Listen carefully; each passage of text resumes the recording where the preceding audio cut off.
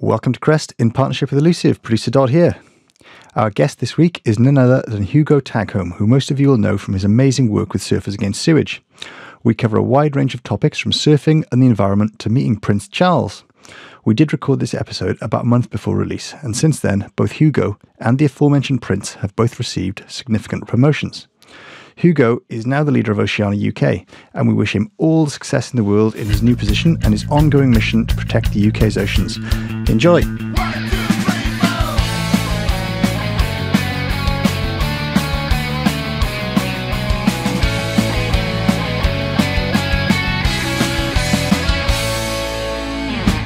Welcome to Crest in partnership with Elusive. Hugo, how are you doing? Hello. Good evening, Tom. You uh, you managed well. There's no no waves where you are today, is it? You're in Cornwall. You, are you near St Agnes? Because yeah. that's where SAS. Are yeah, I mean, I live in Truro. Um, I, I, had a swim at Perranporth, which is one of my favourite beaches to surf at, but it was very very small today. Just some residual northerly yeah. wavelets um, from the wind yesterday. But um, apparently we've got swell on the way. There's a big low pressure tracking up, and it's looking like it could be quite fun um, into next week. So um, yeah. So um, so I've been told at the time of recording is the uh, the water still really warm down there. Rob and I were in Newquay at the Boardmasters recently and surfed in shorts down there very comfortably. Yeah, it's um, it's warm. You know, um, you know, I swim a lot in shorts, um, surf occasionally in shorts, um, and yeah, it's the warmest I've. I think the warmest I've I've known it actually here. But I think that's the same across Europe. I was in France and Spain a, a couple of weeks ago, and it was 23 degrees the water. Wow. Um, I mean, like some of the warmest water I've surfed in, sort of ever in a way. Certainly in the northern hemisphere. So. Wow. So yeah. Now you you, you bring uh, glad tidings there, Hugo. Talk of swell on the way. I hadn't actually looked at any forecast, so that's good news. Um, and it's well, my son, my son's like a frother. He loves he, he, loves getting in the sea, and he texted me in the middle of the day with a, a pressure chart and uh, a wind chart going like it's on, basically. So. resident swell uh, forecast. How, how old is he?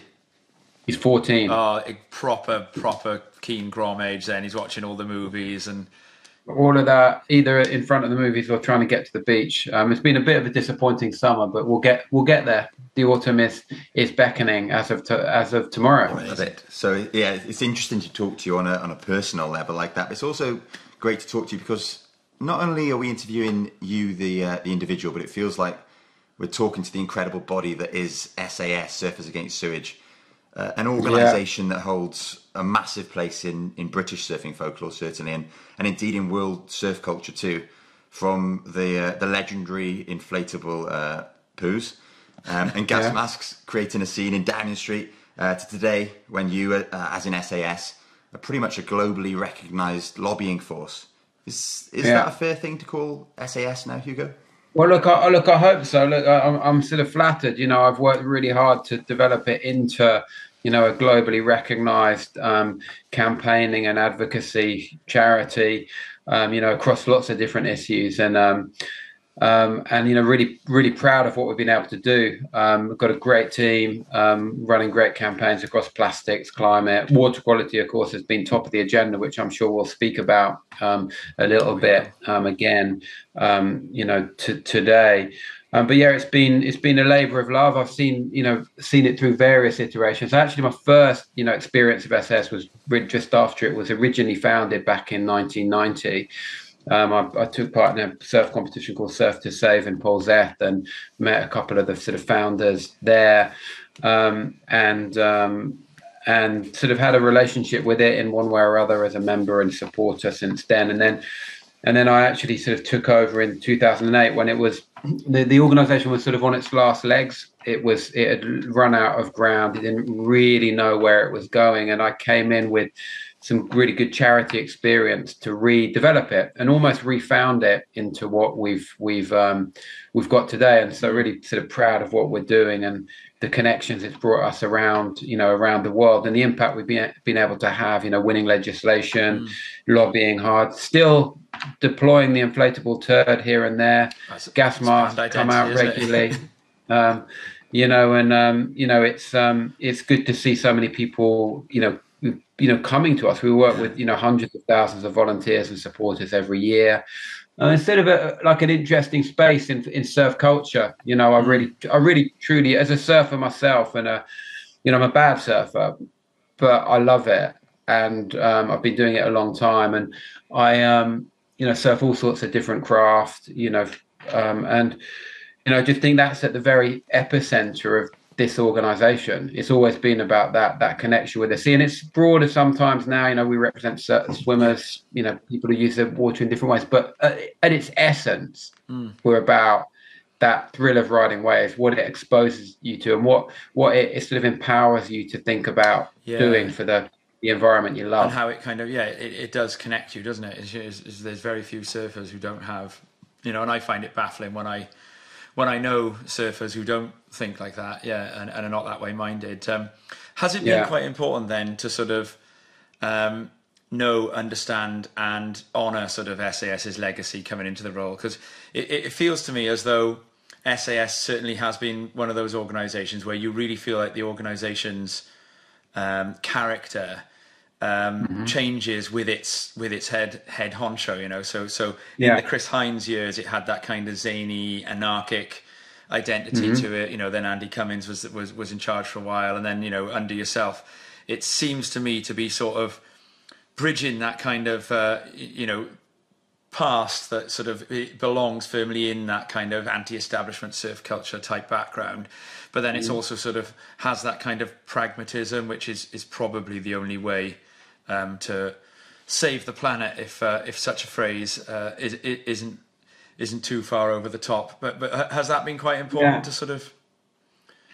Look, I think you know every sort of organisation sort of probably has a sort of a big sort of fingerprint from its sort of um, leader, um, and, and I think you're sort of right. I think you know we we you know I've been sort of involved for a long time, as I, as I've said, and been leading it for 14 years now. So I sort of as it were, the longest serving CEO or sort of director, really. Um, you know, Chris did a great job and inspired me in the 90s. It was actually then, it was led by a woman called Vicky Garner in the early 2000s and then went across to Rich Hardy. Right. Um, um, who led it in the sort of early to mid 2000s, and Andy worked for, for Rich and then for me, and and I took over in 2008 in the in the crash, and you know I've I've sort of had a long established connection with the the, the charity. It wasn't a charity before I took over; it was sort of had a sort of vague. Yeah. En- entity, yeah. um, and I wanted to keep the best of it. You know what I figure is we sort of kept the best of it in terms of the anarchy, the sort of rebellion, but we've also then added to it I'm a firm believer that you can sort of campaign in all sorts of disguises. Yeah. You can be in a wetsuit and a gas mask and have an inflatable turd, but sometimes you need to masquerade in a yeah. suit and tie and pretend that you, have got like, like a like a you know a, a, an extensive education to, to get you into that room. I've got to ask. You know, you, I think. Go on. Sorry.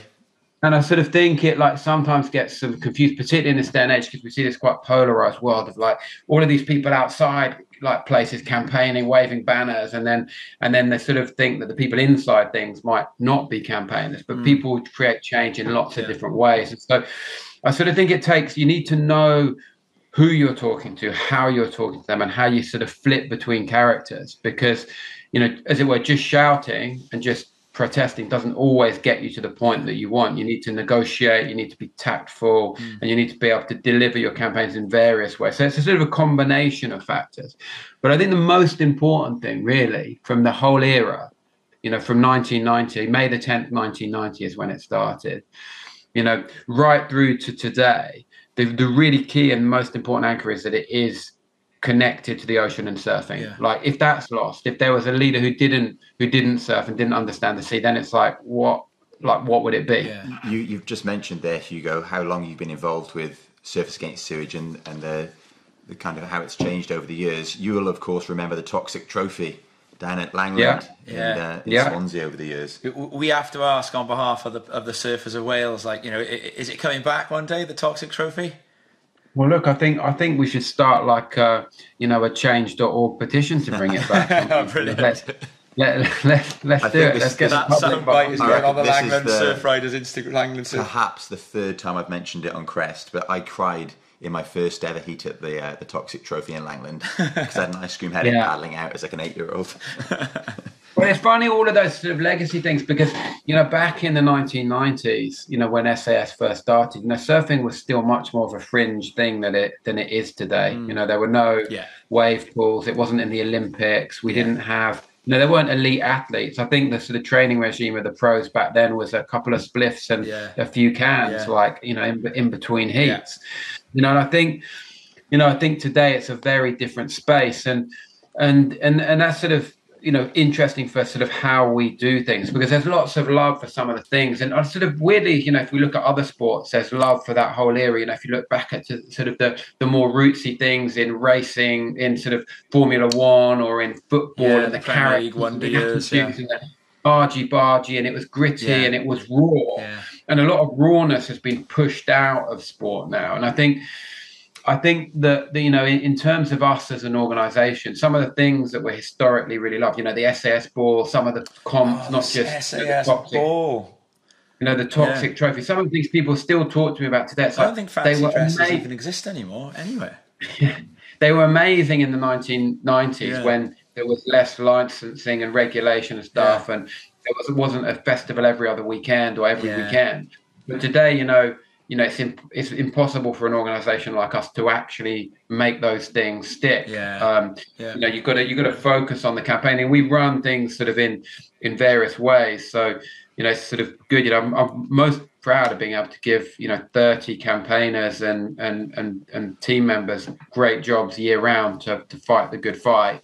Um, and and create you know really engaging ways of taking the public on the on the campaign path with us. Well, talking about campaigning, um, Hugo, it's been a big summer for Surfers Against Sewage with uh, the fallout, excuse the pun, uh, from the political argument over Amendment 45 and the storm overflows discharge reduction plan.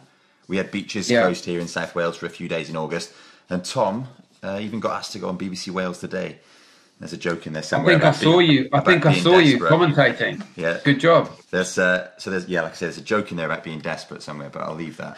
Can you update us on on where we're at with that particular battle, please?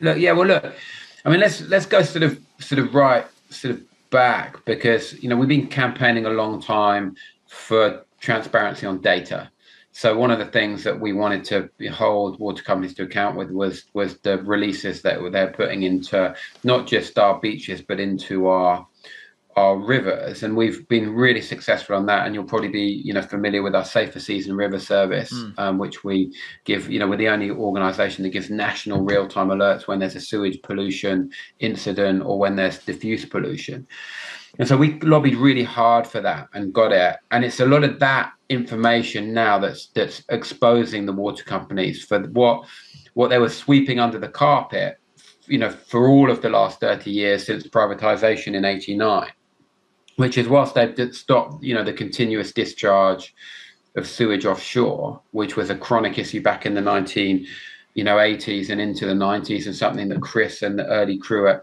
SAS campaigned against. What they've done is carefully and strategically hidden a lot of their sewage pipes in other places and then bypassed detection um, and used ways to uh, to sort of avoid those being picked up by water quality testing generally. So, you know, then we come to where we are today.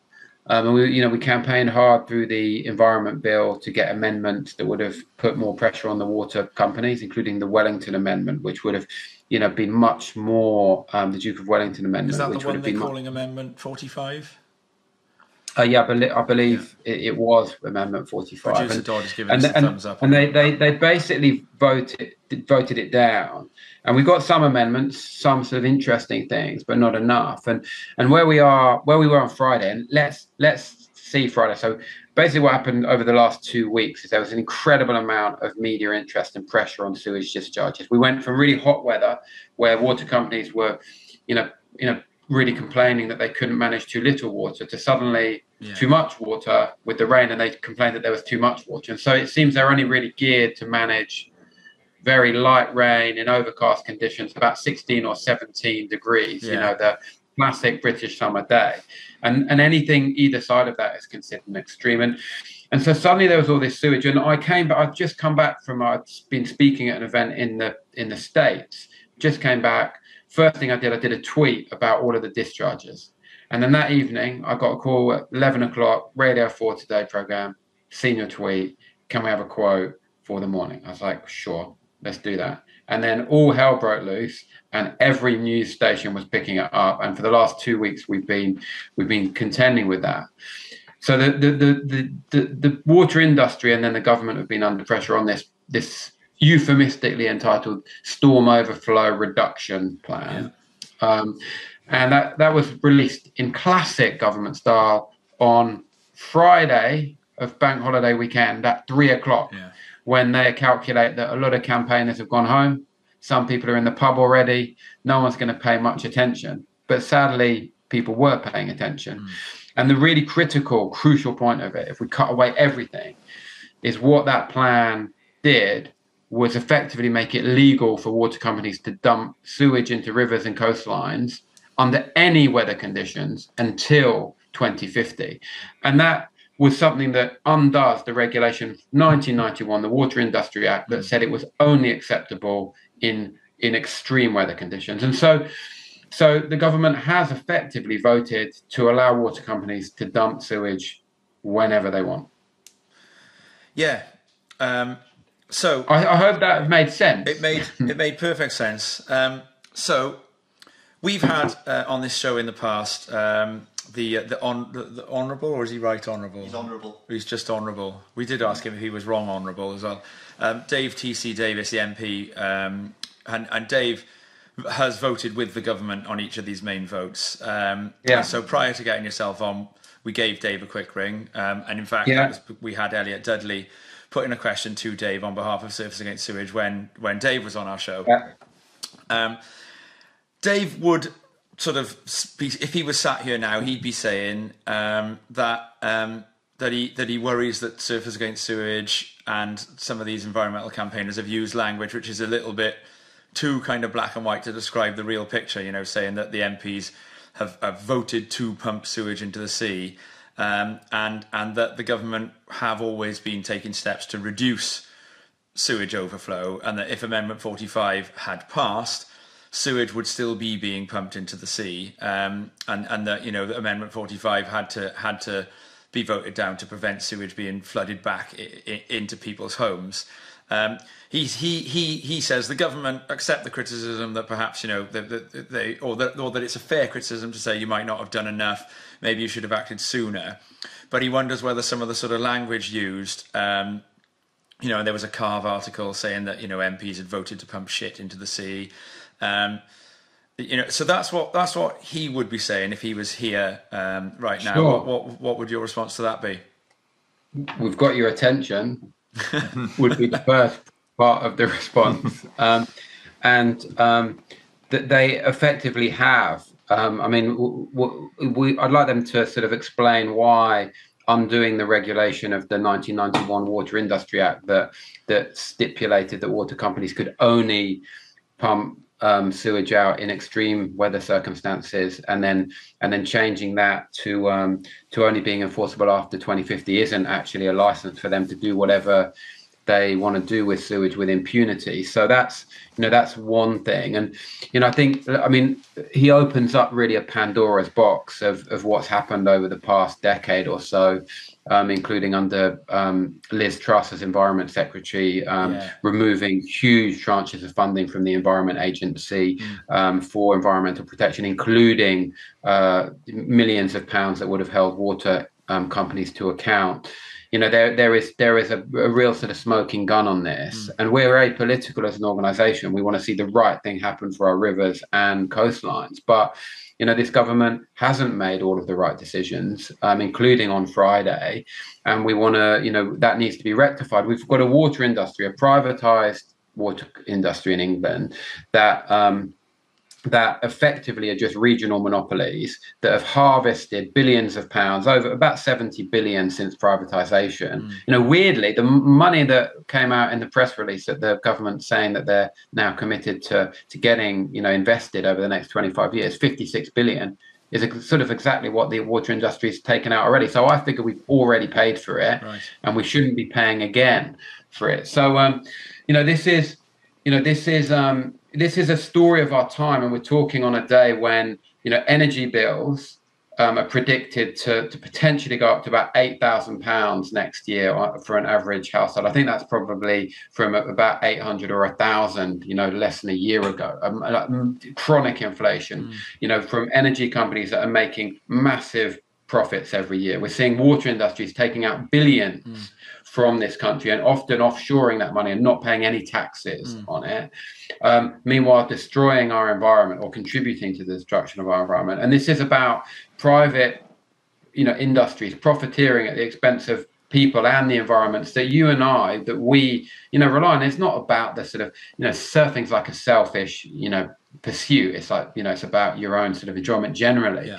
but you can use it to to help inspire people and call out these these wrongs, yeah. and that's what SAS has always done. It's like you know you're not you're not really an activist from your sport unless you go right actually I'm I'm I'm annoyed that this beach or that beach I see pollution, plastic, yeah. sewage pollution. I see the impacts of industry, and I'm going to do something about it. So, you know, I'd, I'd sort of strongly sort of you know disagree. It's you you need binary language to engage people. We understand the complexities behind the solutions, and actually, the water industry is rich enough to do this and they have the expertise to do it and you know the government themselves if if you know if we really want to get into like a discussion around it put some very unhelpful information into the public space scaring people. 660 billion pounds it's going to cost to do this. No one ever called for all roads to be dug up all of our pipes to be replaced. What people called for was the water industry to invest in the right solutions in the right place to actually you know end sewage pollution at, at our most you know pristine spots um, and sensitive yeah. habitats. And independent study shows that would cost something between 15 and 60 billion pounds they can afford it i think also um, i find statistics interesting there because 660 billion was it you said but yeah. you divide that by the you know what is it the 60 million population of the UK 30 million or whatever it is that pays tax like you know you can make a figure sound enormous when six when 30 million people are paying it together can't you you know so, so yeah. sometimes these yeah. Large figures you know that when you're not paying them yourself you know out of your own pocket they're not as big as they sound aren't they Next. Yeah, and look, I think it's a you know a classic scare tactic. I mean, I just I think you know, it's in the cost of living crisis. We can't sort of do anything because it's going to impact you as an individual bill payer. Yeah. So, what about the shareholders? What about the billions that are being taken out? I had a, an email this morning, Hugo, for, yeah. a, general email from the Rivers Trust, and it broke down some of the what they see yeah. as the, the good points and the bad points of, of yeah. what's been passed recently. And it one of their their main criticisms of it is that it doesn't uh, cost all the fixes needed, and they say that we've got to be vigilant as consumers that we don't end up incurring the cost of this rather yeah. than passing it on to these these enormous companies that you've already mentioned. Mm. Do you think that one of the large reasons or the large reasons for the, the government's inability to act is they place too much concern um, on protecting those profits and those big companies? Um, it would seem so. I mean, look, let's just look at a couple of examples. You know, when the banking industry was in trouble, the government had no problem parachuting in what 800 billion pounds very quickly to save bankers. Right. You know, which largely paid for them to have some more holidays and and the richest people to become richer. You know, we've currently got uh, what is probably one of the worst crisis crises that we've ever seen in terms of affordability and inflation where, where's the government stepping in to help people?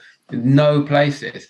You know, where is the capping of water industry bonuses and chief exec salaries? You know, instead they say, oh, you know, it might, you know, it's going to put up your bill. Let's let's like cut down their their salaries. I mean, you know, at the end of the day, at the end of the day, you know, the, the water industry would be terrified of renationalisation. Uh, you know, at the moment, whether or not it would be sensible to renationalise immediately, I personally think that this, these private companies should pay from their profits to mm. fix this, you know, and from the wealth they've accumulated to fix it before we go into renationalisation. Because if not, we'll end up paying for it twice. Yeah.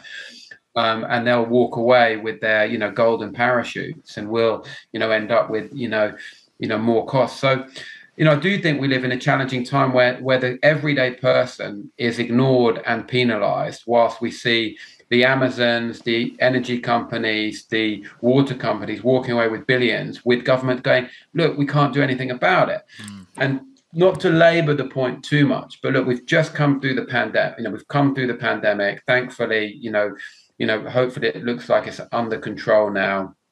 Um, you know, lots of tragedy around it, but governments basically pass laws overnight to control you and I as individuals. They could just say like to, to like yeah, this is a new law. You yeah, can't do this. You can't do that. Where's passing laws that quickly to protect nature or to mm. penalise businesses? They go, oh no, it's gonna gonna have to consult on that for like a decade, and then it would take a decade to implement. You go, fucking hell, it's an emergency. we need it to happen like now. You can control us overnight. You know, one day we could go out and see our friends and family. The next day, illegal like why can't it be suddenly illegal for businesses to do something? Why can't it suddenly be illegal to damage nature in a certain way? Let's like let's try and have some more ambition about these things to hold the the big the big players to account.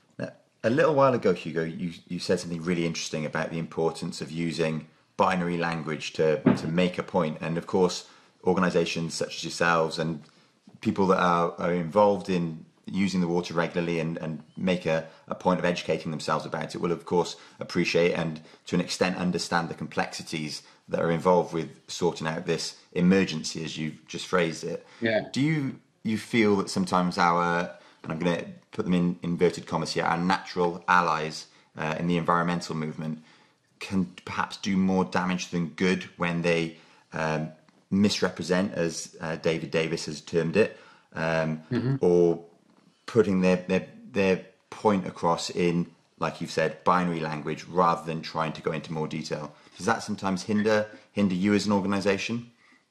No, because look, I think I think you know David might be quite confused um, in the fact that you know organizations like Surfers against sewage might use binary language to engage people but there's a whole wealth of evidence and explanation and compromise at times behind the scenes. And you know in the public space so we'll campaign on plastic free stuff and and and, and various you know plastics issues. And there's a whole load of complex stuff behind it. You know we issue many reports on on water quality and on plastics, all based in the science and the stats. Um, we argue our case in in Parliament, in Downing Street, at the UN, in all sorts of in all sorts of fora. You know, um, he might he might only have been exposed to SS in certain ways, but if he digs deep, he'll see the the depth of of the campaign. So you know, I think it's um, it's about being able to communicate effectively. I'm not sure MPs can always do that themselves. Um, and so it, it, comes down to organizations like SAS, but not only SAS, many brilliant organizations on huge number of issues having to communicate and cut through. And I'll give you an example of that, which probably frustrates other organizations in our space you know, when Seaspiracy came out, whenever, probably a year and a half, two years ago, you know, it was covering some of the issues that other organizations had issued brilliant films on and done great work on and explained it in very scientific ways. But they explained it in a very binary way, which was basically big industrial fishing is killing our seas. Yeah. Let's not let's not go into loads and loads of detail and bore you off the face of the, the planet. Let's just tell you how it is and it engaged millions and millions of people. And that took our, our sector, the NGO sector, by surprise. It took lots of people by surprise. But despite the detractors of it, it really cut through. Mm. And the, the, the, fundamental the fundamental aspect of it was completely true. And every people go, well, it was too, it's not quite like that. It's like, yeah, yeah, sure, You've got some of the things wrong and you're a bit clunky on the on the sort of indigenous rights and you know artisanal fishing and it wasn't fishing or no fishing but it was you know, no industrial fishing because that is what's killing our seas. Does you, you mentioned Seaspiracy there? Do, do um, documentaries, programs, the the use of this binary language sometimes offer, let's again inverted commas, uh, this anti-environment lobby. Does it give them an easy comeback to say, well, you you know, you've got that wrong? Yeah, they've they've, they've caught you saying something wrong, so yeah. everything else you said must be wrong. You know, it's kind of Sure. I mean, that that there's always a risk in that. I mean, that's even a risk in that if you say something, you know, in, with more detail behind it, people go, you you you got it wrong. Yeah. You've got the wrong facts there. You wrote the wrong thing there. And you know, it's important when you do get things wrong to hold your hands up and go, look, I'm yeah. I'm I'm sorry, you know, yeah, I got that wrong, but but you know the thrust of the argument is right or actually let me re-explain that so i think it's about you know being open and honest and transparent about things and hopefully you know sas is a is good at doing that you know we we we you know we'll present things simply we want to take people on a, a journey with us um, but um, but we'll hold up our hands if we get stuff wrong um, and and people should all people should always do that i mean mm. so yeah um, Absolutely, it's you, again. You made a, a, fascinating point that the the facts are on the side of the environmental lobby, aren't they? And it's yeah, the facts cut through, regardless of, of the hyperbole from both sides. The facts are what cut through, and I guess your organisation, Surfers Against Sewage, wield that as your your your biggest weapon in this the kind of the fight and the, the crusade yeah. that you're on. I mean, I think uh, I think you know the the, the, the facts you know, just generally, look, if we look at the state of nature, you know, the biodiversity crisis, the climate crisis, you know, more carbon dioxide going into the atmosphere, you know, you know, you know, you know, thousands of species, you know, threatened with extinction, coral reefs that could be wiped out. You know, we are in an environmental crisis, and you know, we've seen what's happening at the moment in Pakistan. You know, the media are not picking up on it. You know, a third of the country underwater. Um, in 10 billion pounds worth of damage over the last few days.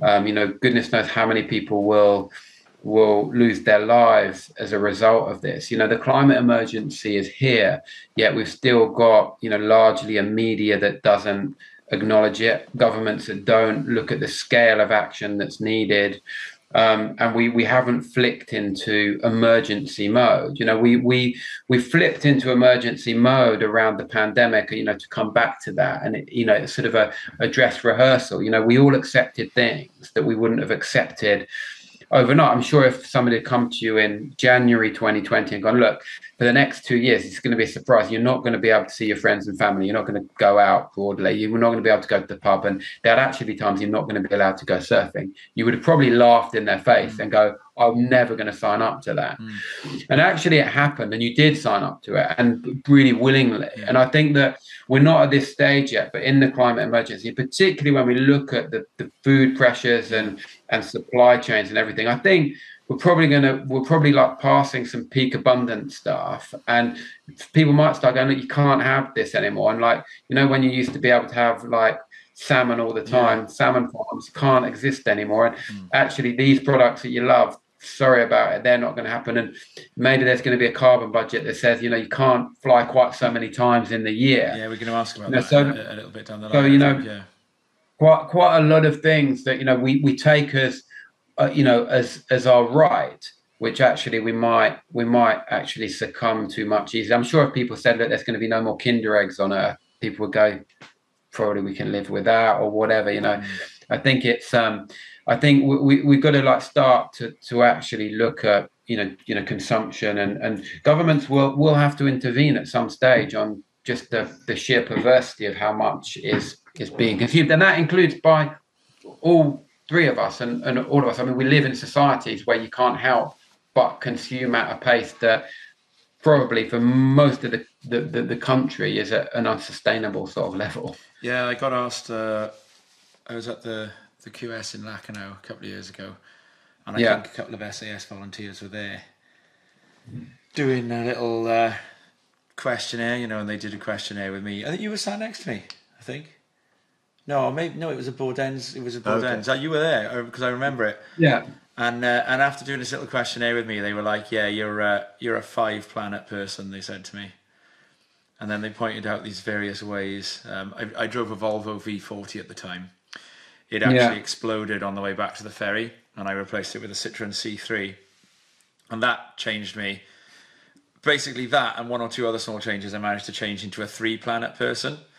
And then yeah. I, I, remember having a discussion with someone where I was saying, like, you know, look, I've come from a five planet person to a three planet person. And like, as if that's a good thing, you know, but actually yeah. that is still, you know, is it, but actually getting yourself in the West, you know, down from a three planet person. And, and I'm sure this was, I'm sure it was Surfers Against Sewage. It was a Surfers Against yeah, Sewage. Could, uh, could well have been. Trick, yeah. Um, yeah. Yeah, interesting. You, you just. Well, yeah, sort of, it's a, a tough fix. I mean, look, I think uh, you, you, might have seen sort of recently, um, James Lovelock died. Yeah, great. Um, uh, yeah, the, the, author of the Gaia, the um, hypothesis. yeah. yeah.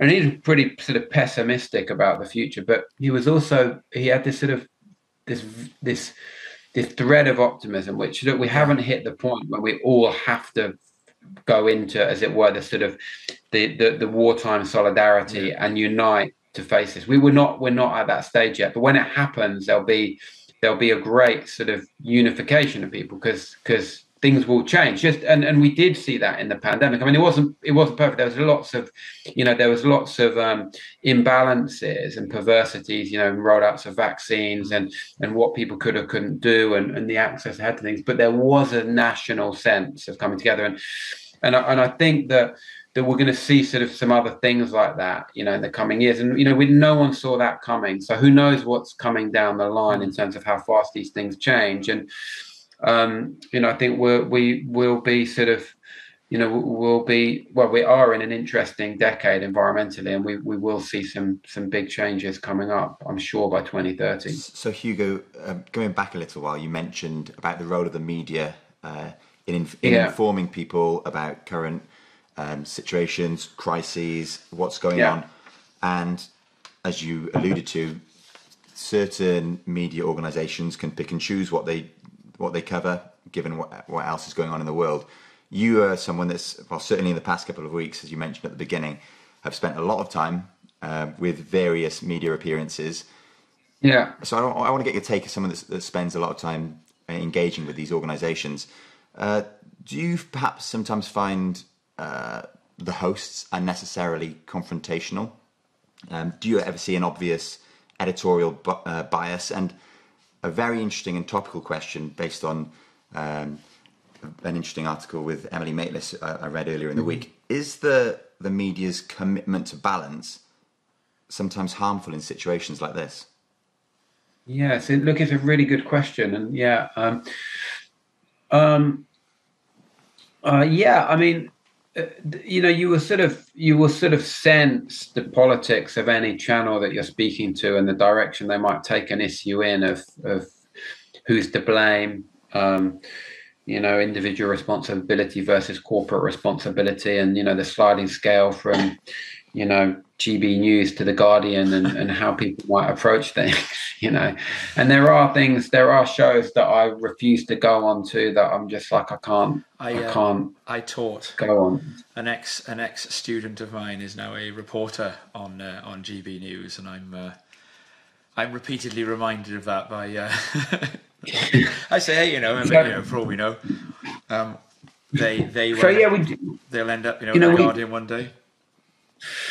Yeah, I mean, I think um, so. Yeah, you feel the sort of bias, um, and then you know to um, to the sort of second point, um, you know, you know, and Emily Maitlis has been making lots of sort of headlines recently. I mean, she she's called everyone out on the sort of Brexit sort of issue of no one wanting to to to talk about it in the in the media because, um, well, because uh, probably they fear the sort of repercussions of of, of criticizing it. Um, um, but um, sorry, what was the other point with Emily? Just uh, so um, the need for balance. Yes. Sometimes, yeah, need... sometimes meaning that the idiot gets interviewed. Look, uh, look. I, I sort of yeah. Look, I do think it's it's challenging at the moment. And look, let's let's be honest. This is largely at the moment around the climate debate, yeah. in that they're still letting the climate skeptics in and yeah. the the reality, you know, the, the the the unequivocal, you know, science says that this is human-induced carbon dioxide emissions, and that the world is is changing dramatically and rapidly. We've seen droughts, floods, and everything else, fires. You know, I mean, we've had we've had wildfires in Cornwall. Cornwall's one of the wettest places on planet Earth, I think.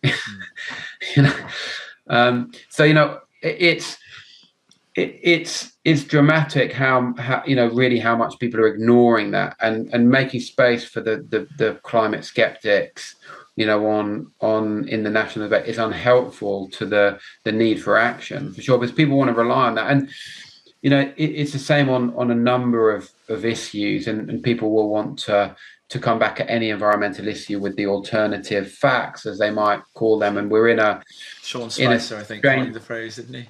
Yeah, we're, we're in an age where people, sadly, you know, often there isn't a central sort of tenet of a truth that people all like debate around. Yeah. They go, no, we've got different truths, and that's particularly in America. You know, there's no agreed central truth that, to, around which everyone debates. It's like, no, no, we'll all hold different sort of polarized truths, I, um, and then we'll we'll justify ourselves around that, and that's so dangerous. Yeah. It's like listen to a really interesting um, three part podcast um, on BBC Sounds actually with Rory Stewart, with whom I don't always agree. Yeah.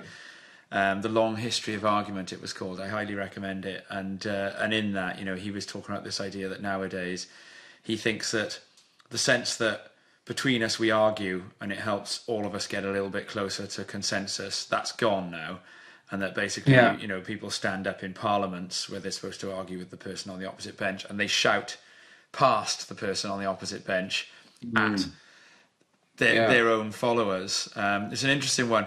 The echo chamber, I suppose, is a challenge as well, isn't it? And getting out of that echo chamber. And one of the things that you know, we, we, you're talking about, car, you know, I suppose there's carbon, there's there's um, sewage, and then plastic is another big one. You know, we're talking about you know the oceans. Um, and I know that's something that I think Surfers Against Sewage have been good at getting out of that echo chamber and getting beyond it. And another campaign has been this naming and shaming of the producers of plastic. Yeah. Um, and uh, yeah, it's an interesting one. You were saying, oh, you know, maybe we can't have salmon anymore. Um, quite, would it be fair to say that down the line, maybe we can't have Coca Cola anymore?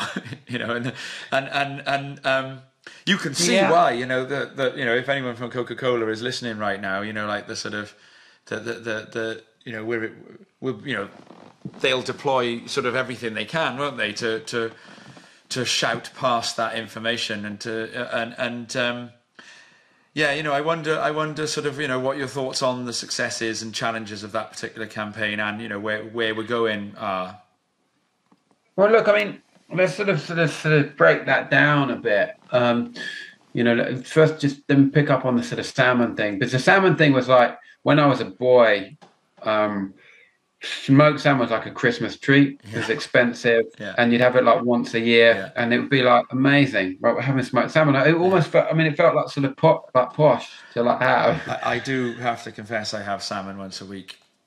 Yeah, it's, uh, it's and then you know now shop, like people can have it. people can have it every day because it's so cheap, and that's like because salmon farms like are made, and you, you know, you know cages in sometimes in marine protected areas filled with diseased animals that are artificially fed and looked after, seven pounds of wild fish producing one pound of salmon. You know, it's like a, a super unsustainable sort of way of, of doing food. Um, I saw one. that's another point. in um, oh, how, do, how do you pronounce it? Tsujiki fish market yeah. in Tokyo, and it was it was horrifying yeah. actually. Um, I, I, can't believe I do still eat it actually. You know, there's this enormous fish, and I, which I do believe had been caught, you know, wild. Something yeah. it must have been years old. You know, had had sort of had a whole yeah. life story.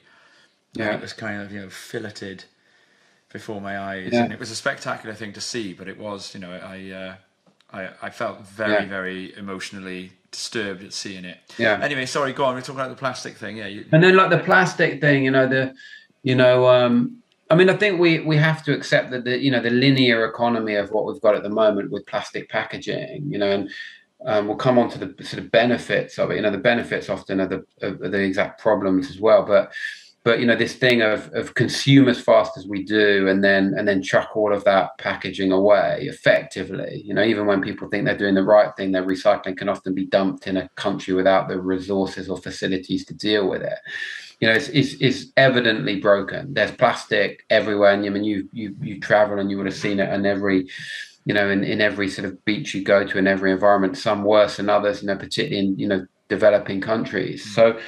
So it's like a, a, really chronic issue, and, and and these industries are pumping out more and more single-use plastics every day, and they're not they're not keeping pace. You know, the bins and the sort of infrastructure in our streets and and everything hasn't kept pace with with just a sheer number of of, of products out there. And I'm, I'm, I'm old enough to just remember when there sort of was far less plastic. And I mean, even taking bottles back with a deposit, you know, was a thing in in my time. Sort of mm. just pre all of the plastic bottles, and so you know, the, the, the industry needs to just remodel itself, more reuse and refill mechanisms. We need recycling that actually works. And, and the environmental sector does itself a dis, disservice sometimes on going like recycling isn't the answer. It's not the full answer, but there will be some recycling that has to be part of it. So we need systems that that can can do that properly because they're broken at the moment you know, I'm I'm proud of what we've done. I mean, we we mobilise a lot of volunteers on beach cleans, and I love I love the communities they bring together, but they're not the solution themselves. Mm. But the evidence that they've helped, you know, collect has helped us deliver the the black bag charge, has helped us deliver the ban on straws and stirrers, helped us lobby to get a deposit return scheme that's not in place yet, but is coming. Mm. It might not go as far as we want it to, but it's coming. And so there've been some big campaign wins actually on plastics. It's the first time SAS actually won legislation itself for the first time. So we're we're um, you know proud of you know of the, the movement we've built behind it plastic free communities the stuff we do in schools you know three and a half thousand schools a million school children all of that stuff mm. but the, spear, the the tip of the spear is the camp the lobbying and the campaigning around it and trying to change policy and legislation to get get the systems changed because without systems change we can all refill you know and reuse a little bit. We can all choose to adapt our behavior a bit, but without a big shift, we're not going to get there. And industry often wants to put out our door. So they want to say the sewage problem is because we all flush a few too many wet wipes down the toilet. They want to say the plastics issue is because we haven't refilled our coffee cup enough times and it's all our fault you know the climate issue is that we should probably cycle down to the shops and instead of take our car down to the shops. Mm. and it's always individual responsibility because that allows businesses to carry on with business as usual mm. and put all of the blame on us. It's consumer choice. It's like look actually if you create the right systems we'll choose i mean we never you know who knew that they wanted whatever yeah. Kentucky chicken crisps until the industry made them. And if they take them away who's going to care? I was um i was i was reporting at a um Plaid Cymru conference. Oh, this is going to be a long time ago now, maybe 15 yeah. years, 10 plus 15 years ago.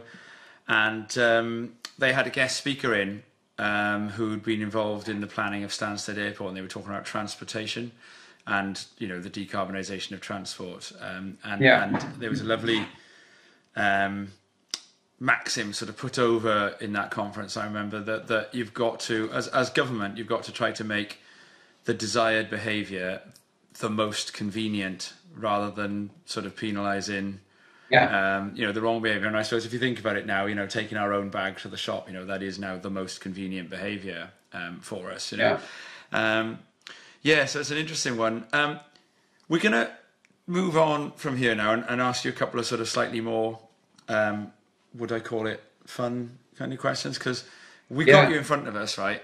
And you've met like some of the most amazing people on earth uh, well, yeah. no, yeah, I suppose no. Some of the most amazing people on earth are probably not famous at all, and you know, uh, yeah, you know. Yeah, well, I've met some interesting. You've met some interesting, yeah, very, very sort of big, famous people, you know, and and, yeah. and, I just wanted to ask about a few of them. You know, I mean, Al Gore, for example, you know, um, who kind of producer Dodd sort of talks about Al Gore as like yeah. You know we nearly kind of saved the planet you know like what 15 25 whatever it was years ago you know he could have if he'd become yeah. you know and, and and like what a near miss you know what would the planet look like now if Al Gore had sort of you know had his way? And yeah, yeah. what, what's he like as a person and what you know and and yeah your thoughts on yeah that? he was really he was really nice and I mean he's one of my sort of personal sort of heroes like in terms of you know of course his you know what he's campaigned for for forever. Um and um and the way he speaks and delivers the message, and he does it in a very, very sort of binary, fast-paced way. So I sort of like to try and model some of my talks on how Al Al talks. So it was good to see him. I saw up in Edinburgh last last autumn at a TED a TED countdown event, and uh, got to chat to him for a little bit, which was a you know a real a real um, honor. Um, you know, lots of my heroes I've been able, or people I, I really sort of admire. Um, I've been able to meet and sort of work around Sylvia Earle, um, uh, David Attenborough. Yeah, what's what's uh, Sir Dave like? I was like super starstruck, you know, when I met David, and you know, and he. Um, and you probably don't you know, get starstruck present- that easily. You probably have met lots of. Not, not that easily these days, but um, but yeah, it was a, like a real sort of honor to um to present him with a plastic free award, and he was very um, very um you know, gracious and interested, and you know, sort of knew of Surfers Against Sewage. And did he? Yeah, it Oh, was. wow. It was a sort of a, a really great moment, and then of course, you know, some of the stuff that I wouldn't have expected through SS. You know, um, you know, our first patron, you know, Prince Charles, and you know, there's there's you know various opinions on on the monarchy and and the royal family, Yeah. but from an authenticity point of view, you know, Prince Charles has been talking about environmental issues for 40 years and has been, you know, really championing lots of good sort of things. And I first sort of hosted him in an event in 2015 in in Newquay, where we brought together quite a lot of different NGOs, and I, you know, had to sort of show him around and introduce him to a lot of people, like 100 plus sort of people he had to meet, and then and um, and then we sort of struck up with sort of a weird, you know, relationship. We see each other in various places um, and and have talks at roundtable discussions on plastics and other things. And, and we hosted him a couple of times in Cornwall, and um, he became sort of patron. So it's been quite, you know, interesting, unexpected. You know, things like royal weddings and, and other things. I never really thought SAS would bring me. I was always on the sort of campaign and beachside, and and, and these things happen. So it's been it's been great, you know, and I think good campaigning involves engaging lots of people across the spectrum. I love working with our grassroots and being at the beach, and I like I like influencing with people who can make big decisions. I mean, you've got to be able to do both things. Um, you mentioned in some of the you know discussions that have, have been had um, with the environment, you know, this idea of sort of um, criminal liability, um, and part of what you have to do. We talked about being pragmatic. You know, you got to meet you got to meet the Prince Charleses of this world, or you know, the Dave Attenboroughs might be a good example. You know, you also have to be able to sit down and you know have a have a chat, be pragmatic with you know the Dave T.C. Davies, or you know, who, who uh, incidentally is a is a very pleasant person to go for a surf with. Maybe you may, might not be a pleasant. Sure. You know, we might not agree with the things he votes, but he's a very, you know, he's, you know, and, and some of these people are very pleasant, very amiable. What happens when you meet like one of the, you know, or have you met people who are the kind of like the big polluters? You know, like essentially the enemy. How how do you approach a conversation with some of these guys? Because I mean, sometimes I suppose you're not going to change their mind, are you? You know, they're basically on a panel to to oppose you, and and you know, how do you handle meeting those kinds of people? Look, I mean, I think one of the challenges within any business is, you know, when you're waking up at, you know, to go to work at one of these big polluters, you probably have drunk the Kool Aid of the business and That's a good way and, and, and and got the got the sort of the the you know all of the crib sheets, which sort of makes you believe genuinely that you're not doing any harm and everything's fine and you've got things under control. And so it's sort of a probably a human condition to go actually look it's you know we are doing our best. And so so you know i sort of i recognize that when we go into a, to a room and and and the, the important thing is is that we look at what the ultimate you know facts and and what the, the the ultimate sort of as it were beneficiary is of, of the action we want to take which is look if there is too much pollution and the facts attest to the damage it's causing year on year then it's a fairly unequivocal sort of position to take. They can't they can't go well no that's not happening. And you know sometimes it does happen. So with the water industry, for example, they might go well look it's not just us, it's the agricultural industry too. So don't come at us. You go no no no no. Well, well people can come at them and they can come at you. Yeah. You know if you need to get your house in order, you deal with that, Yeah. and we'll talk to the agricultural industry separately. But don't say we can't talk to you and you don't need to get your house in order because over there there's another house that's not in order and so we, we i don't like that aspect of it but there is an element you know and you've got to recognize because we live can live in quite hostile times and there can be you know the, the and to your point of going surfing with with david you know like Hi, Dave. By the way, lovely guy. recognizing people professionally, but also as human beings, and what is acceptable behavior and what is unacceptable behavior, and how you would interact That's a with really them. good point, Hugo. Yeah. And the, the hostility, and and particularly hostility that could border on, you know, insinuated violence in any form, is unacceptable. That's not campaigning. That is that is you know is not is not uh, acceptable. So it's about how you in, engage. And there are some direct action tactics that are good that target sort of buildings and industries in other ways without threatening life. But there is a lot of hostility in social media, in communications, in different echo chambers. And that can become really toxic and actually sometimes be counterproductive to, to campaigns because yeah. you've got to be able to engage correctly and politely. And but but being polite doesn't mean you can't be forceful. You can be forceful and have good a good position without you know degenerating into you know threats or violence or yeah. or, or sort of un, unsavory behavior. So there's a you know a bit of you know you've got to consider how how you um how you you sort of do things and um yeah I think that probably covers it. But you, you struck me then as being very sympathetic at the beginning of your your response to Tom's question there, Hugo, whereby you said that they they've drunk the Kool Aid and they yeah, like often genuinely believe what they've been told or what they're they're reading in front of them that's being given them probably yeah. on behalf of the companies that they represent. But what, what happens when it comes to somebody that does know better, that has perhaps, for argument's sake, has Oh, um, Rob's been on Wikipedia here. Well, my researchers. well, look, I think that's look, it's a good question, and I, I would probably default to the last two weeks, and then we'll be even more on the media yeah. Calling calling them out and exposing the truth. And you know, I think I think um, you know, sadly, you know, we you know we, we do have to agree to disagree many many yeah. times with people. And I, I think that the thing is, is not to sort of allow. Look, there's a thing in our space of that I'm really conscious of of I've talked to a, quite a lot of people sort of around this, which is the the, the for, for organisations like SS and, and probably all charities, the long arm of the establishment loves to come and put its put itself around you and go, look, you know, we're all friends. We're sort of working on this together. Do you want some money? Here's some money. Yeah. Um, you know, why don't we all sort of agree we've got to collaborate? And it's a really dangerous position to take when you get too mm. intertwined with people. And we've refused lots of money from people. We've refused money from Coca-Cola, from tobacco companies, from water companies. You'll have probably you know, refused money from this person that uh, Rob owes. Uh, researchers uh, page has got up. Uh, yeah, here. Who what's, what's his name, Rob? Who's this? Yeah, so um, our researchers have, have um, they, they've basically they watched a BBC documentary.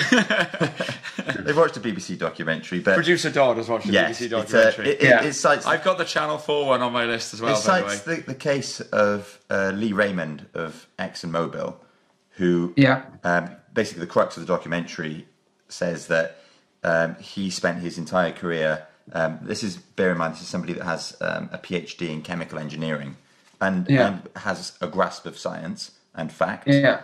and spent his in, entire career denying or disbelieving the the link between um, global climate change and uh, how human factors play into that. Um, and the the documentary basically shows that um, he cast doubt on climate change in public for the duration of his career, yeah, despite yeah. internal Exxon research pointing to the role of human activity in this in this climate change. How? Yeah, look, I mean, look, I mean, there's there's abundance of the stories of these sort of corporate covers up. You know, the the Teflon sort of scandal, of course, cigarettes and the link to, to cancer. You know, uh, there, there's been there's been a litany of these things, um, you know, over time, and you know, sadly, you know, I dare say probably money often corrupts in these cases. Sadly, there will be people probably who haven't got such good morals, principles, or values, and and and are happy just to keep changing their position or taking the wrong position. So, yeah, I mean, you've got to you've got to take those people sort of down. Um, you know, we used sort of the example of some of the sort of the companies that we might work around here, the, the big plastics manufacturers, the water industries. And I think, you know, you've got to be very direct in your campaigning.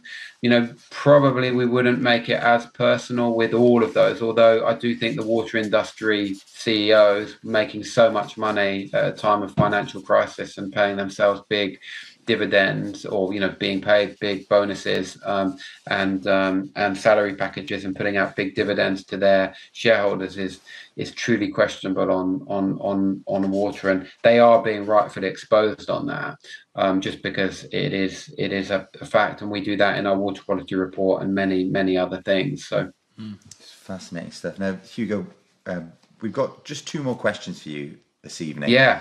Now again not to go into too too binary averse, I suppose would be the way to put it here, and put you very much on the spot. What can our listeners uh, of Crestcast do if um, you were to give our listeners perhaps three three pieces of uh, pieces of advice on a how to decarbonize and b how to protect the ocean? What would they be? Look, I think, I think. Let me take the second one first. Um, you know, if you want to protect the ocean, I would really watch what you're eating from the ocean um, and limit your fish intake. You know, industrial fishing is is is is you know running amok across our seas and you really should should think about what types of fish you're eating, where they come from, and um, and that you can sort of really be assured of, of the provenance it's causing the least possible harm. Um, because it can't cause no harm because the fish you're eating is sort of a bit of harm. But there are more and less sustainable methods and types of fish. What, what should you know, we be avoiding as fish? Scallops, I, I know, is, is one of them, isn't it? Scallops, you know, anything that's sort of dredged, is is challenging. Um, cod stocks are really threatened. You know, in, in, the UK, you know, there's some, you know, various things. I mean, there's seafood guides out there, but you know, generally those sort of dredge species are are you know any dredging is is terrible for marine habitats.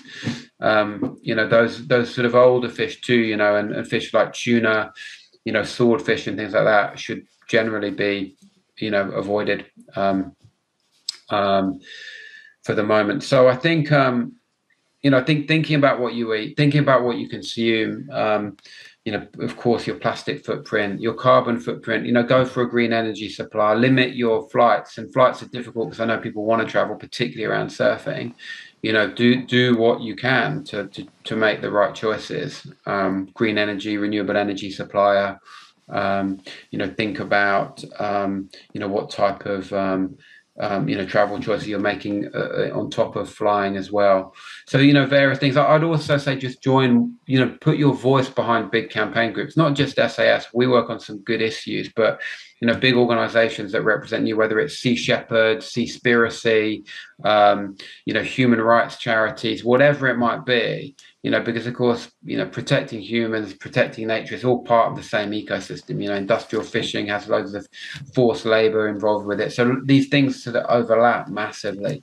So choose the issues you care about and really put your weight behind them. You, you mentioned um, then, Hugo, about the um, the the need or not the need, the want to travel with surfing, and that does amongst other things, such as the, the, the choices of equipment that we use as surfers, yeah, tend to lead us to be quite yeah. hypocritical in a way. Uh, often, people who surf and, and, and use the water and, and nature for their enjoyment um, are, are, the biggest voices in support of it. But we, we can be very hypocritical. But that's not to, that, that shouldn't put us off hmm. engaging. Still, I, I yeah. very briefly, I had a, a bit of a debate with one of my really good friends, and it was around the it was a, a project in South Australia to uh, drill oil in the in the Great Australian Bight. The Bight, yeah, yeah, and um, Bight, yeah, yeah. I posted something on Instagram about it, and he challenged me, and he said, "Well, you you can't possibly be against." any oil exploration because you you fly to Indonesia, you fly to America or here or there to go surfing, and my point of view, which is quite a hard way, hard one to deliver, was that you can be for something, but be hypocritical in a way. You can. It doesn't mean to say that you have to support uh, mass pollution in order to um, just because you you benefit from it in some way. Yeah. There's a balance to be struck, isn't there? Yeah, look, and we live in a in a world of contradictions. Look, we've got a, a big, you know, probably a lot of the public understanding the climate change crisis. You know, we've got people joining marches on on you know streets, whether it's you know fight, uh, you know Fridays for the Future, you know um, you know stuff happening around that happen around COP twenty six. You know the the sort of climate protests. We're seeing more and more sort of rebellion, mm. but at the same time, people are shocked and horrified when the pump prices go up and they want and they want cheap fuel. So there are paradoxes and contradictions within, within it all, in my opinion, which point towards the rapid need for systems change or a new way of being. Because look, if the government came in and said, "Look, actually, we're doing a carbon budget," which means you know you got you got one or two flights this year that are yeah. fine, and then your second or third flight is very highly taxed. Very, it's like three times the price to make you think.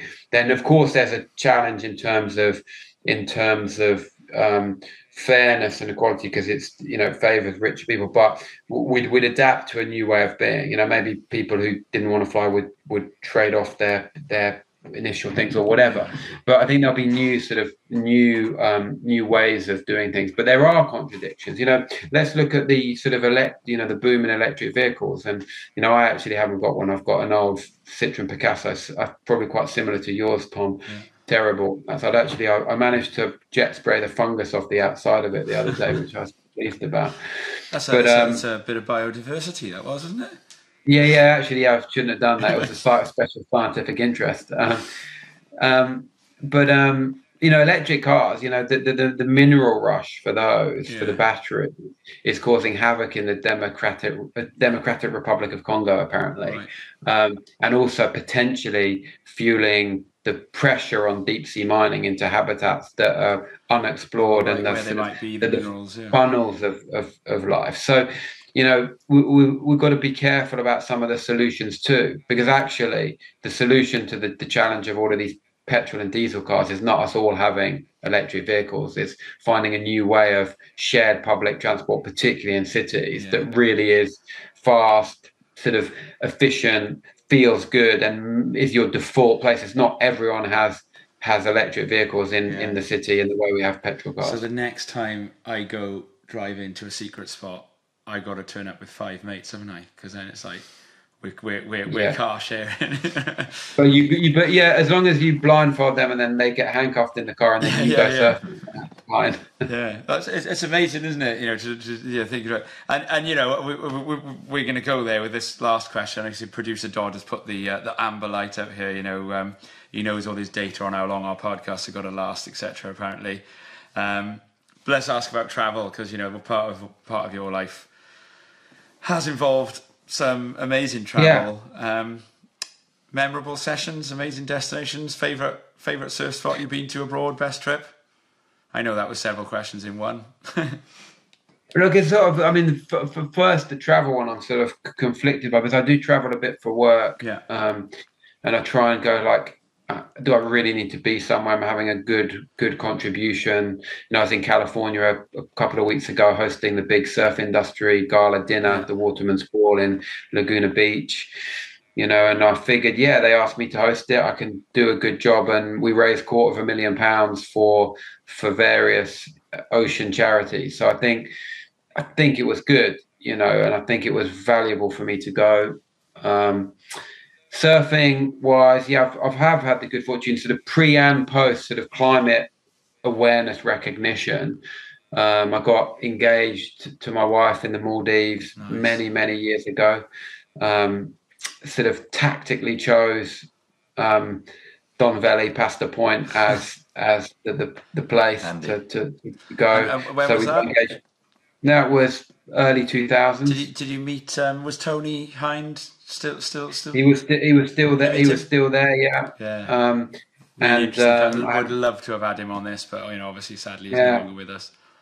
And I got many, many good waves, and got engaged just in front of the the wave, which was which was sort of cool. Um, so I, I love that. Um, not totally sure how I feel about privatized waves today, but um, but the good thing in the Maldives is the um, Maldivian surfers can surf on whatever wave they want, yeah. so they can they're, they're allowed to. And I was there again relatively recently, and I didn't want to. Um, I did surf, but um, I went. Uh, I'm involved with Save the Waves. So I went to see the president whilst I was there to talk about legal protections for surf spots, which which is is is coming, and there's quite a big recognition. The president's son is a is a pretty good surfer, right. and so it's pretty helpful to connect with him. And I'm doing some work with Save is, the Waves. Save the Waves still Will Henry? No, it's run by a, great guy called Nick Strong Svetic, um, who's been running it for about ten years now. But Will still, he? yeah, he's, he runs a runs a winery wow. now um, in uh, near Monterey, I think. Um, so yeah, Will's a, a larger than life. I've got, a, I've got a lot of time for Will. He's a great guy, um, as is Nick. Um, so we do quite a lot of work out there, you know, and with with with that lot with with Surfrider too. You know, I've had some fun sessions at Trestles and stuff when I'm there. I mean, truthfully, my best sessions really around here. I love surfing with my son, um, and um, and finding waves here. Droskyn, uh, you know, Perranporth is one of my favourite waves. I'm a goofy foot, and on a on the right side swell at the right tide, it can be such a, yeah. an amazing wave. Um, so, or, or, or, sort of all over, you know, down here from you know Sennen up to up to sort of Harlyn, um, along the south coast, some sort of secret spots that are hidden, you know, in winter times. I sort of love when there's a bigger, bigger swell where there's sort of sheltered spots. Um, um, you know, Australia, I did a long time ago, um, which was good Byron Bay before um, before it became super overrun, mm. which was fun. Although I was always scared of sharks out there. Yeah, right, right. Um, the, uh, the, the passion with which you talked about your your kind of your local coastline spoke volumes there. I love it. Yeah, and I suppose that's what. I think I have to say from listening to you know, I know earlier on there was a sort of an almost you know, in the name of fairness, when we've had other people on who, you know, sort of work in or around politics, you know, we're, we're, we're asking you these questions, you know, to, to make sure that we, we're injecting balance into our interviews. I feel like from chatting to you, I feel most comfortable when, like, we're finding ways of frothing about being at home. And that, you know, I suppose yeah. it's now more expensive than ever. Like, really, you know, and I've I, okay, mm-hmm. maybe it's fine for me to say this because I, you know, like Rob, you know, I've been to Indonesia plenty of times and I got no regrets, like you know, and now I'm at a stage in my life, you know, little kids and whatever. But if you can find pleasure in surfing at home, you know, you, you that is half the half of that surfer hypocrisy kind of neutralized, then, isn't it? Yeah, and I sort of think that you know the, the you know finding the perfect weather is also about having the right quiver. You know, I oh, surfed oh, at Droskyn on on Sunday or was it Monday? It was like you know one and a half foot, but nice little waves on a on a foamy on an eight foot foamy all by myself. Yeah. Lovely, lovely little waves. Had a lot of fun. Um, um, I was bodyboarding with my son the other day. Great barrels, yeah. you know, good fun. You know, no one out. Yeah. Um, so you know, all sorts of craft. Um, and of course, you know, you want your favourite board on the on the right types of waves. But yeah. if you limit yourself to one craft, I think it's pretty yeah. pretty challenging. But if you have a whole range, you you can sort of surf almost every day. Famous quote by, by, Mickey Munoz and uh, you know one of our other uh, friends of the show, Elliot Dudley, knows this one as well. It's, uh, how's it go? Um, there's no such thing as uh, no such thing as bad conditions. Just a poor choice of equipment and a lousy attitude. Yeah, exactly. You get equipment exactly. or attitude right, you're good to go. Totally, and, and you know you all, and also like you find the spots, you know, the less travelled spots. You know, there's spots near me in Truro. You know, um, that you know they, they don't pick up great waves, but because they're sort of novelty spots, they're so much so much fun. So you can have like a sloppy sort of junky two to three foot day, and it, it seems like seems like magic Kira suddenly because it's sort of unusual and and you just get a lot out of that and it brings back what is really for me the true essence of surfing which is just about the fun and the smiles and, and having a good time. And sometimes it can be so become so serious, mm. and actually people forget like it's about just that that joy really that you want. And so, you know, that's sort of a renewable energy in itself, joy. So we should I, be spreading I think, that. Hugo, that's the magic, uh, magic, the prime opportunity to to bring this to a close. So I'm going to say, Hugo, thanks so much for hey, taking no the uh, the time to chat to us today on Crest in partnership with Elusive, and it's it's been great to celebrate what an inspiration uh, for the British surfing community that this vision of yours and, and all the work that you do at SAS is. Thank you. Well, it's been great to talk to you. Yeah, and I, would like to thank you as well. Yeah, you know, and, and plenty of food for thought. And uh, I, for one, um, uh, you know, I'm, while I'm looking forward, obviously listeners will be hearing this in the middle of autumn and hopefully surrounded by pumping surf. But we're recording this on the last couple of sort of high pressure days of the summer. Um, yeah. As you said, it's autumn tomorrow at the time of recording. So I, for one, am, am looking forward to getting the right equipment in the next bit of two foot onshore slop that we get. I'm feeling, you know, genuinely feeling really like refreshingly sort of pumped by that idea, but also, you know, to, you know, get get hunting around this autumn as the surf gets good. And so, you know, I'd love to, I'd like to wish you, um, you know, a, a wave filled autumn as well, Hugo. Thank you. Um, you know, and that that kind of idea about making sure that you said that Stoke Stoke is a renewable energy in itself. That's a, that's yeah. a really beautiful idea, and uh, I'm going to be um, saying that to lots of other people from now on, and and always, of course, um, you know, giving you credit for it. You know, you get the royalties on that one. Uh, so thanks, Hugo. Well, it's been great to talk to you, and hopefully we'll get some waves together at some point in the not too distant Sounds future. So uh, yeah, thanks a lot, guys. So, uh, as you may have seen on our artwork and publicity, this has been a Crest in partnership with Elusive First Tuesday Conversation. The ability of these monthly chats to get to the heart of our surfing communities is not only due to the guests, but the listeners who've commented and fed back to us on the episodes and discussions that we've had. So, a reminder of how to do this. You can email us at castcrest at gmail.com or you can comment on either our Instagram or Twitter feeds. Our shows are all available on YouTube as well as uh, the main podcast apps Apple, Spotify, and Google. And if you like what you hear, please do leave a review to that effect. And we've also got a big back catalogue of chats to go through if you just scroll back. Before that, we wish you all some pumping autumn sessions, and once again, thanks for listening and see you soon. Diolch am grando a gwelwch chi yn fi yn. Thanks.